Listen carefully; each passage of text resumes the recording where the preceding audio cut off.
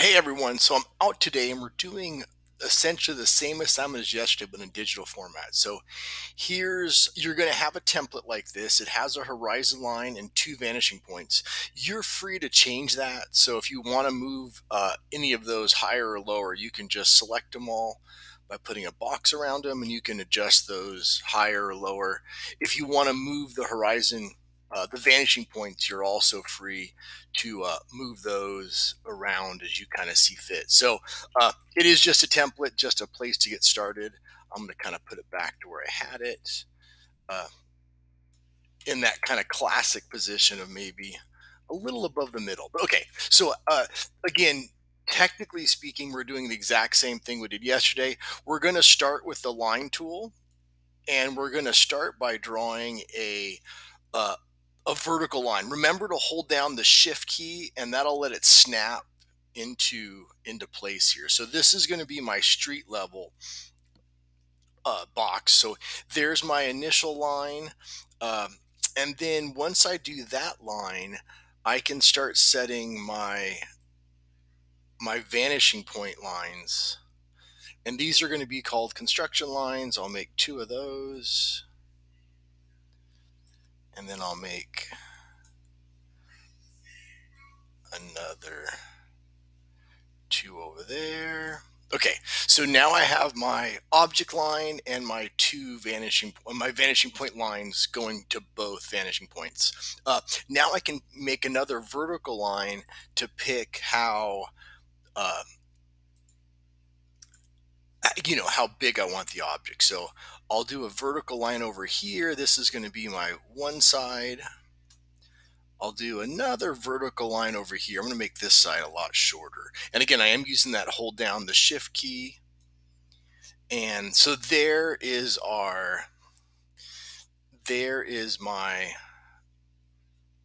two point perspective for a street level view. I don't have to do the top or the bottom vanishing point lines because they're not visible.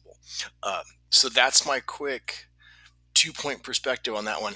Let me show you how to color that or how to how to pick a light source and kind of color that. So let's go ahead and I'm going to insert image uh, a shape.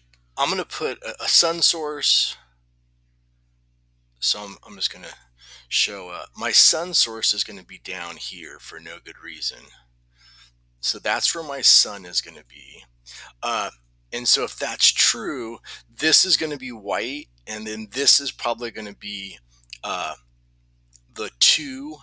This is the one side, and then the top would be my three, but I can't see it, so we won't worry about that. To do uh, to shade these, we're going to use the polyline tool. So what I'm going to do is use all my all the lines I just set. Again, I'm going to hold down that shift key to to make a polyline shape. Uh, I'm holding down the shift key on the verticals. I'm not holding down the shift key when I do the sides. So that is the side of that one. This is going to be my one side. So I'm going to shade that one white. So that's my uh, one side. And then I'll do another polyline shape over here for my two. Let me escape that. Go to a polyline tool. And so here's going to be my second polyline. Again, I'm holding down that shift key on the vertical, letting up on the shift key here, back on the shift key here. And then the other thing I could do is if you're having trouble making these, the other kind of tip is I can do that, uh, the zoom in. Let me, I'm going to finish this and then I'm going to zoom in here. Uh, so I think that connected. And this is going to be my my light shade so that'll be my two uh, I did all that and it's probably fine but again the better thing to do would I could have zoomed in and made everything a lot easier. So uh, again, zoom in is Control Alt plus. So let me use Control Alt plus, and you can, if you zoom in, and then you can, oops. So you can kind of look. What I can do is maybe hold down that Shift button to maybe merge these a little bit better. So that object line is kind of so that's a little better. And then the last thing I can do is I can start deleting all the object lines I'm not using. So then now I can go back and just select them and I'm just hitting the backspace to delete them. And I'll be left with my,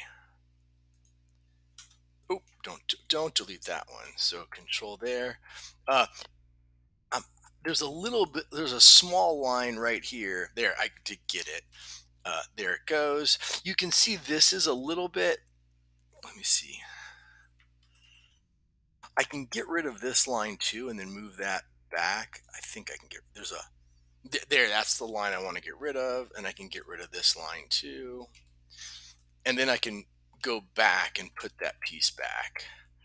So that is my two point perspective cube at street level view with the construction lines taken out. So just like I would have erased, I've kind of erased those lines by shifting them around. So let's do that same process. I'm going to zoom back out, Control Alt minus will zoom me back out.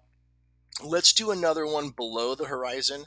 So I'll do another one below. So we're going to uh, change my line tool over to here. So I'll make this one over here. It's fine if I cover up my light source. It's just a reminder. I'm holding down that shift key. So that's going to be my object line.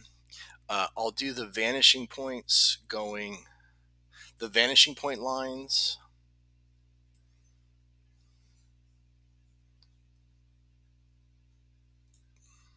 And you don't have to be super precise.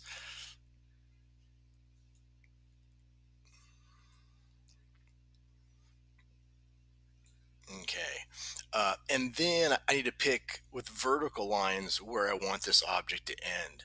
So let's let's go ahead and not have them overlap just to make it kind of straightforward. Again, hold down the shift key. That's going to be my vertical depth that way.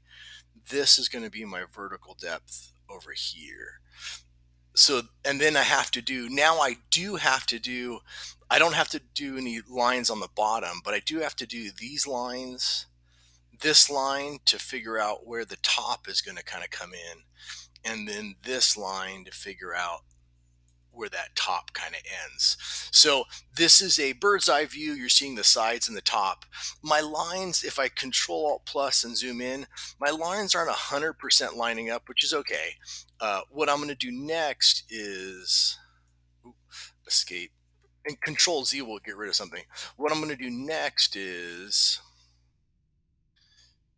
used to what's going on here. I want to drag. I can just use the bars here. Uh, so what I'm going to do next is my polyline. So on a polyline, this is going to be my one side. This is going to be my two side, and that's going to be my three side. So now I'll go ahead and do uh, the polyline tool. And I'm going to use my my original lines as the as a guide. Hey, hold down that shift key. Oh, and, and then don't hold the shift key here. And it's okay if you if you don't match it a hundred percent. Okay, so that's going to be my white side. Uh, this one over here is going to be my two side.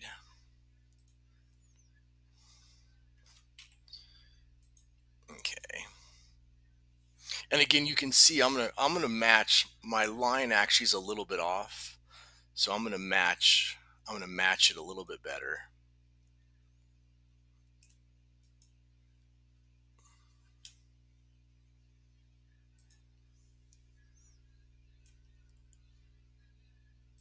Okay, and then this is going to be my two side, and I think I was using a gray. That's a little bit darker than I was using. Let's go back to that. So those two should match up. And then the last one is I'll, I'll do a polyline shape on the top. And that is going to be my final one. Again, you don't have to exactly match your lines. You're just using them as a guide. And I could zoom in more, but I think we're going to be okay. All right, so that's, and then that one I'm going to fill a little bit darker. So I'm at kind of that one, two, three, four, five over. I'm going to make it two shades darker. and that's going to be that one. The last step here, I'm going to escape out of my polyline tool and I'll start deleting my construction lines again. So that one can drop out, that one can drop out, that can drop out, that can drop out, that, that. Okay, and then now I have these, it looks just kind of funky where I have my construction, my object lines, but they don't line up to my box lines. So what I can do is try to, I mean, I could there. So I selected that one, that one's gone. I selected this one, this one's gone. I selected this one. Nope, that's my side. I can move my side and then I can put it back here in a second. Delete that line and then I'll put that back. So now you can still see things are a little bit mismatched right here. So let's zoom in again and let's see what we can do to make this line all these corner points all line up. So what I can do is go back to my polyline shape and I can try to extend it so that it touches that. And now it looks like that one little change seemed to line up that corner. Same thing over here. This one's a little bit mismatched, so I'm just going to go a little bit back. And now that's pretty good. It's a little bit over, a little bit over, so I can do a little more adjusting. I can try to scale this back a smidge. What is going on here? Oh, not that far. Let's try to, let me see if I can scale that.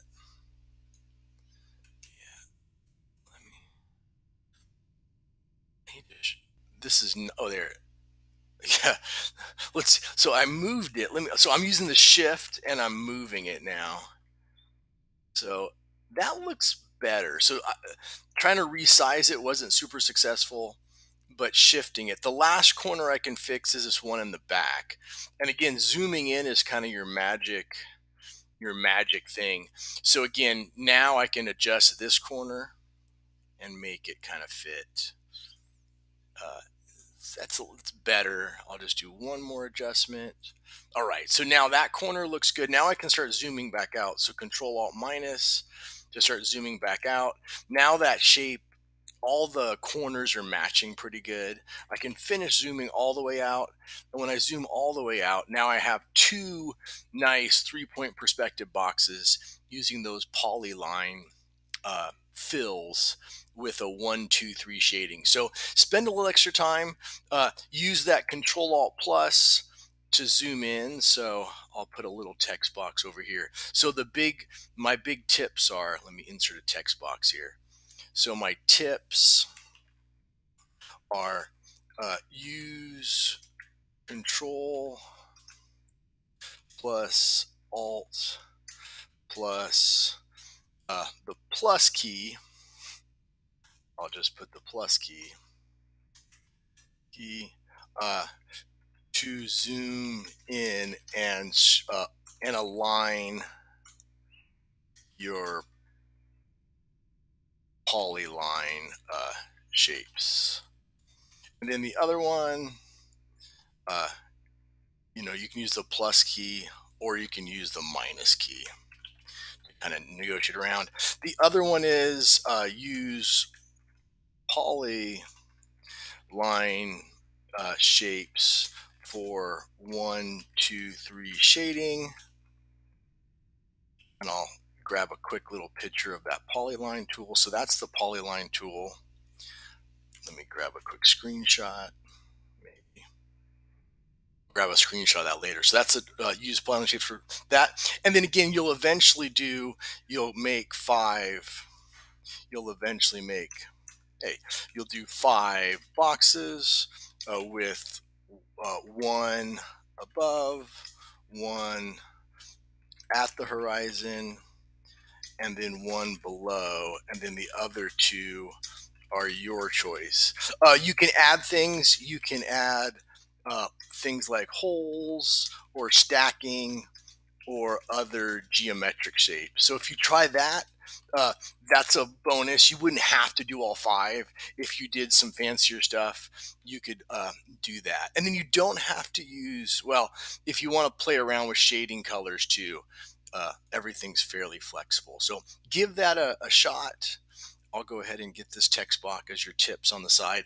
I'll, when you see this template, the video will be on this side and then uh, the tips will be over here. So good luck on that today. I'm out. I'll be back tomorrow. Concert was great and have a good rest of your day, guys. Bye.